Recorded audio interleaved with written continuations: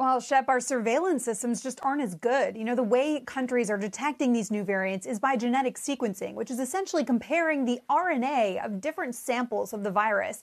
And according to an international database of coronavirus genomes, the U.S. ranks 42nd globally in sequencing the virus. In the UK, they've sequenced almost 8% of their total cases. Denmark has done 13%.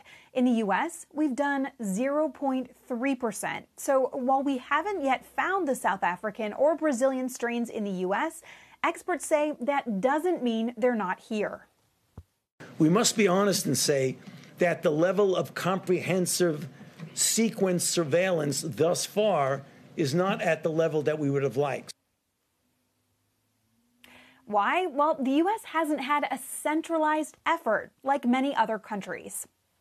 So what's happening is you're seeing, you know, regional CDCs, you're seeing some health systems uh, all do their own sequencing, but there hasn't been a central effort to coordinate uh, and, and push a mandate for sequencing. Now, Illumina is the world's largest maker of genome sequencing machines. Its CEO, Francis deSouza, told us he's optimistic that the Biden administration's COVID plan specifically calls for pandemic preparedness and more genome sequencing. Hey, Meg, the New York Times is reporting that Pfizer plans to ship fewer vaccine doses. Why and what is that? Right. Well, remember that bonus dose that was found in Pfizer's vaccine vials? They were supposed to contain five doses each, but it turned out you can actually get six doses out, and that meant we'd have 20% more supply. Well, the Times is reporting that Pfizer formalized that sixth dose with the FDA, and as a result, says it's going to deliver fewer vials of the vaccine than originally planned under its contract. Now, the same number of doses, 200 million by July.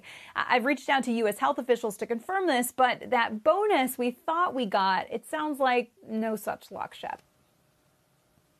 Well, we, we got new guidance from the CDC that you can now mix and match different vaccines? Right. Well, you're supposed to avoid that if you can. The CDC says the Pfizer and Moderna COVID vaccines are not interchangeable, but it did issue new guidance today saying in exceptional circumstances, like if you and your provider can't remember which vaccine you got for the first dose, or if the same kind is no longer available when you're due for the second dose, either of the vaccines can be used. And you have to space them at a minimum of four weeks apart in that situation.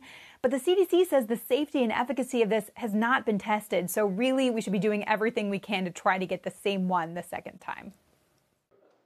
Shepard Smith here. Thanks for watching CNBC on YouTube.